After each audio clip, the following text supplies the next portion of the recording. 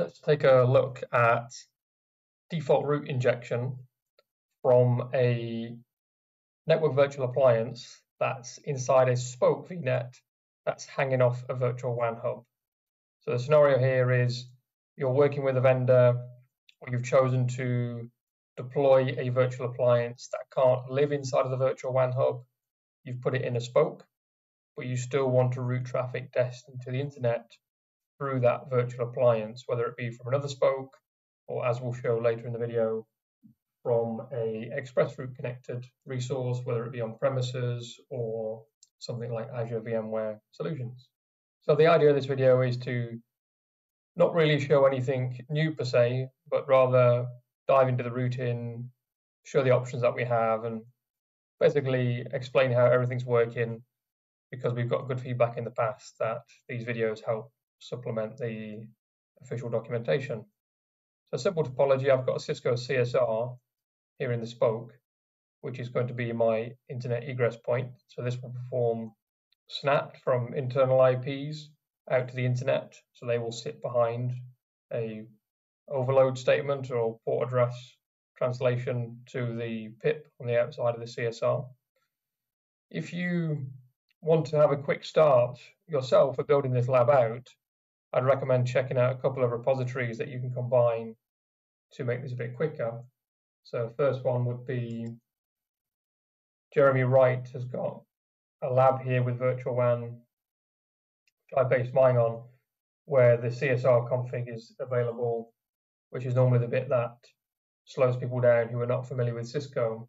It also includes the AZ CLI commands required to build out the virtual WAN environment, in this case using static routing. I'll show you both static routing and BGP.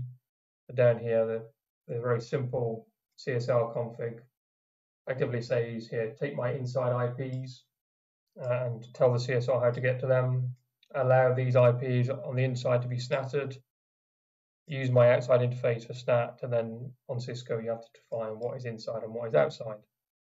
Also, Daniel Mauser's got a lab if you want to expand on the virtual WAN scenario and go a bit wider. Maybe you want to look at default route propagation, how that's required between hubs or two on premises. Uh, this is a great lab again to start with that. Okay, back to our diagram. So let's first of all have a look at the spoke here, the CSR. This is my single CSR virtual machine. A couple of things to call out, sort of basics with NVAs and virtual WAN. One would be of course, the VNet within which this NVA lives is going to inherit the virtual WAN injected default route. So if you don't want to create a routing loop on the outside interface of the CSR, you will need to override that and set next hop internet. So you see on the outside interface here, I can see my next hop is set to internet with a UDR called to internet assigned to the subnet for the, the outside interface there.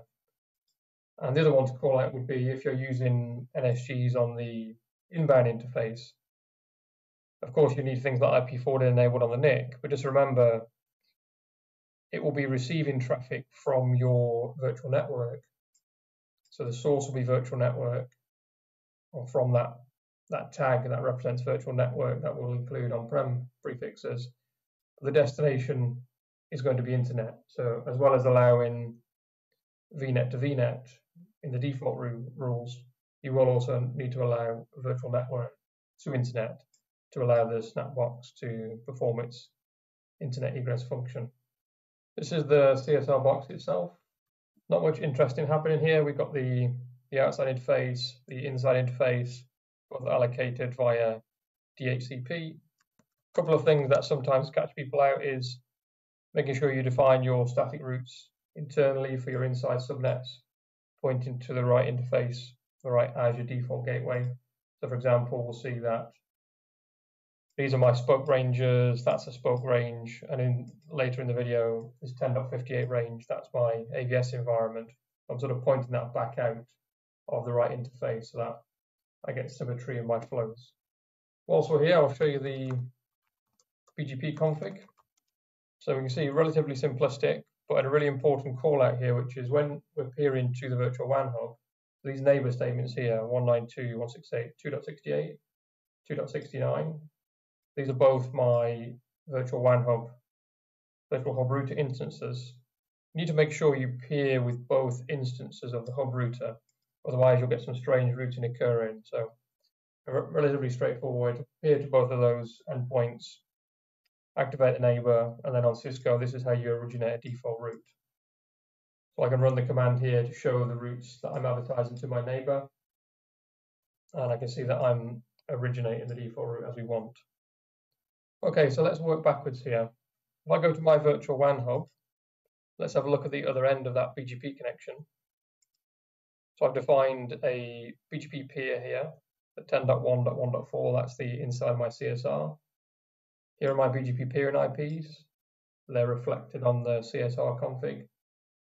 This is defined and this is online at the moment. We can confirm that by looking at the effective routes. Here within my default table, my default route is known via BGP connection.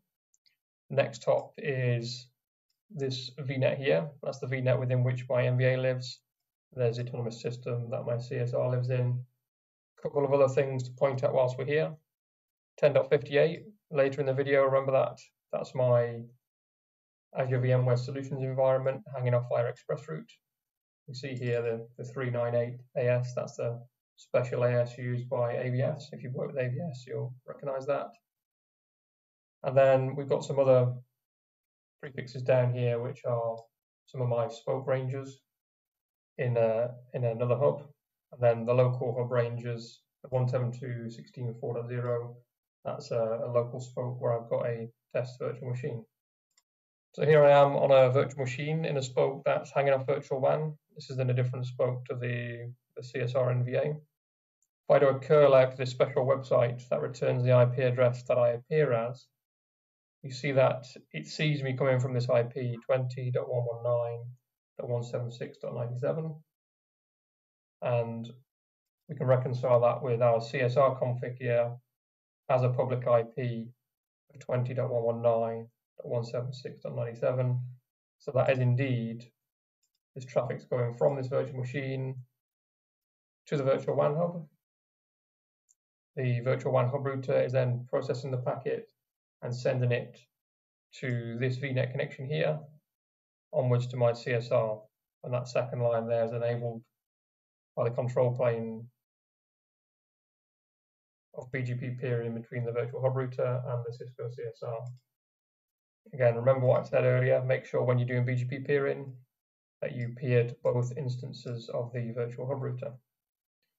Okay, so let's take this one step further and show how it would work with a on-premises or express route connected resource. So again, CSR originating default route into virtual WAN. With virtual WAN, you can then propagate that default route that's floating around in your hub to connections to the express route gateway. So I've got an ExpressRoute gateway inside a virtual WAN that is connected to an ExpressRoute circuit here that happens to be connecting me to an Azure VMware Solutions environment. And if you know AVS, inside of AVS there's concepts of tier zero switches being connected to the outbound world of ExpressRoute, which then connects you to tier one routers for the segments, and then I've got a virtual machine on AVS with the IP address 10.58.10.10. Back inside of my virtual WAN hub here, if I look at the ExpressRoute gateway configuration, I can see down the bottom here, this is my Azure VMware Solutions circuit that I've connected.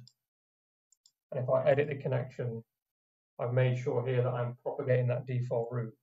That's effectively saying if there's a default route available in the hub, whether it's learned via static routes, BGP, or a secured hub with Azure Firewall, propagate that default route onwards to that express route connection. One thing to call out specific here to AVS is inside of your SDDC config in the portal, you have to choose on AVS fundamentally how it gets to public internet resources, whether they are non-Microsoft or Microsoft IPs or Microsoft PaaS services. We have varying options now, so you can tell it to break out using the default SNAT configuration, which behind the scenes will be using uh, outbound internet access with a sort of Microsoft managed secured virtual hub, or that's that option here, or you can tell it to use a, use the new preview feature of public IP on the AVS itself. So in that scenario, it will go straight out of AVS onto the Microsoft backbone and not go anywhere near a virtual network resource. Or if you want to control the default route using the method that I'm showing you, where you inject the default route from a VNet or a virtual WAN hub, need to select this first option here. And that will basically allow the tier zero to accept the default route from your D-MSEE circuit uh, and follow this path in this direction here. Let's jump down to the Azure VMware Solutions environment to verify our default route propagation and the fact that it's usable. Again, remember this could be your on-premise environment. I'm just using this as an example and also to add some additional value here around the AVS interop. So I can jump on the NSX team manager and look at the tier zero config to check if my default route's getting through there. Here on the tier zero gateway, if I look at the routing table, it's a bit of a eye chart, but inside of there, the important lines here are the default route with next hop of some internal IPs that we don't have to worry about. And then to round this out and finish the demonstration, I've jumped here via the vSphere client, opened up a web console to my test virtual machine. This could be, for example, test VM on premises. In this case, it's a test VM hosted on an AVS segment with the IP address 10.58.10.10. And we can see if I do the same curl here, I get back the same IP address. So that's showing that the traffic, if we jump back to the whiteboard, let's think about the end-to-end -end flow. The default route is being injected by the CSR via BGP peering to virtual WAN. Virtual WAN express gateway is advertising that to the circuit. Circuit's advertising it to the internal AVS tier 0 and tier 1 infrastructure. So our virtual machine, when it resolves the domain name for ifconfig.io, ultimately it follows this route here, gets to my CSR, and when it goes out to the internet, it's snattered behind the public IP that exists there, which is the IP address that we, we just saw in the command line. Okay, the last thing we'll do in the video here is just to highlight one other option we have for CSR or NVA to virtual WAN configuration. At the moment, we saw how we've got resilient BGP peerings from the CSR, the virtual WAN hub. But what if you didn't want to run BGP or the NVA didn't support BGP? Is there another option? And the answer is yes. So we can get rid of the BGP peering here and we can instantiate logic on the virtual WAN hub to effectively statically route. So I can come into the default route table and say, gateway of last resort, go to this IP address here. And if this was a highly available pair, you could point it to a load balancer and a spoke as well. So let me update the config and I'll, I'll show you how that looks. On my virtual WAN hub, I'm going to drop this BGP peer in. we can see that if we jump to the CSR, we can indeed see that those BGP peers have gone idle 12 seconds ago because they've been torn down on the virtual WAN side. If I try and do a curl or any sort of connectivity here from my test VM, that's not going to work now. It doesn't have a default route. Inside of my virtual WAN effective routes, I no longer have a default route flying around inside of the hub. Therefore, I'm not propagating one to express route. So let's fix this with a static route. So I'll come into my default route table here. I'm going to define a static route. Next up is the VNet connection that's got my NVA inside. And then I need to make sure I specify the appropriate IP address. Okay, so my static route is saved now. Remember, BGP is down, define my static route, rechecking my virtual WAN hub default route table, I can see that I now have a default route, but it's learned via static route to a VNet connection. BGP is still down on my CSR. If I go back to my test client on AVS, we can see once again that SNAT's working. So just to go back to the diagram, play that back again. CSR is now just sat there in a spoke, which is VNet connected to the virtual WAN hub.